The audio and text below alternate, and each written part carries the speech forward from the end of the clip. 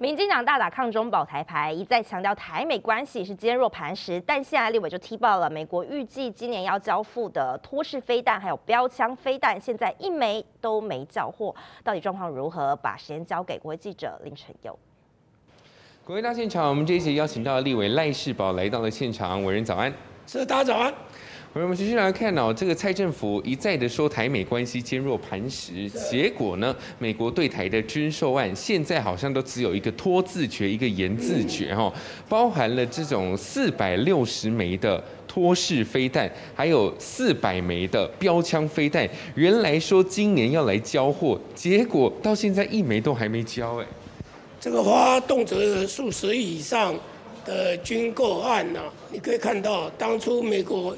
要我们买的时候，急急如律令啊，非常的这个急迫。结果我们全交了，到现在为止快一年了，一颗也没有交货啊。这个感觉啊，这个我们好像是被攻潘娜一样啊。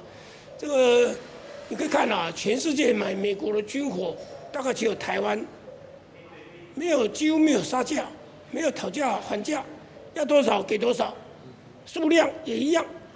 基本上就变成说，他要买的，我们要买的都是他给的，我们想买的他不给，都是他要我们买他可以给的，所以完全是一个卖方市场，哦，完全是一个卖方市场。那大家都知道，当然国防事业的国防军军火方面，大部分哦是卖方市场，但是也有买方市场，啊，就比如说我们飞机、战机，我们最喜欢想到的 F 二十二、F 三十五。一价不给啊，一价不给啊，啊，那现在已经给他买了这个，这这个飞弹了啊，托式性的一个呃飞弹，以及是标枪的飞弹，这个都已经交钱交这么久了，为什么一颗都没有交？这个真的台美关系坚若磐石吗？其实大家会想什么原因？有几个原因嘛。第一个，他做不出来了，做的时间。这个它的容量、它的产量没办法做这么多，当初给了行程排错了，这是第一个。第二个呢，排挤效果啊，会不会因克乌克因为乌克兰战争的关系，把大部分的可以用的飞弹就通通送到乌克兰，应该给台湾的就排挤掉给他了。像 F 十六过去 F 十六 V 也有这个现象啊，说要有一部分要到乌克兰去，所以台湾的就被排挤掉了。这感觉看起来。很心酸呐，哦，那美国也矛盾，他一方面说台海很紧张，可是为什么武器交的这么慢？可见的啊，讲台海紧张呢，布林肯讲的这个样子啊，然后看起来，啊，这个跟我们的执政党的抗中保台有点类似，因为他十一月也要选举了，其中选举，他也打一个抗中啊。他不是抗中保台啊，抗中保美啊，保民主党啊，对不对？保他的民主党的选情，因为一般推一般的看法观察，民主党的选情不乐观，所以他拼命的就打这张牌，包括这个原来的众议长，这这这个是佩洛西啊，过来也是一样啊，你可以看到一个一个都是他的国内的思考，所以。他完全是以他的美国的利益为放在第一优先，台美关系坚若磐石，结果呢，要我们买的，我们想要买的买不到，我们已经交钱的不交货，我不知道这是哪门子的坚若磐石。对，的确，而且刚刚委员有特别提到，因为布林肯他现在就说，如果台海有事的话，那对全世界而言都是坏事，所以要尽全力的来维持这种台海和平稳定。可是我们看到他他们维持台海和平稳定的手腕到底在哪边？我完全看不到啊！因为这些飞弹，你说要交怎么交到哪里去了？这么多的因素都没有办法，好像提升台湾的自我防卫能力嘛？这个是都矛盾的啊！可是他的话里面也把答案讲出来了。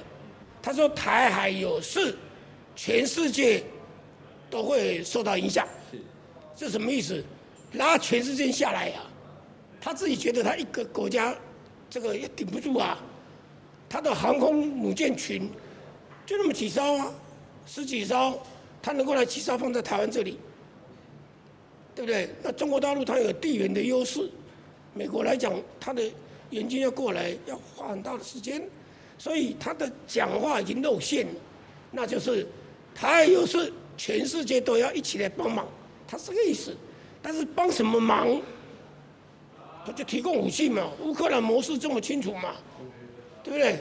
他就是给你武器，你自己打仗。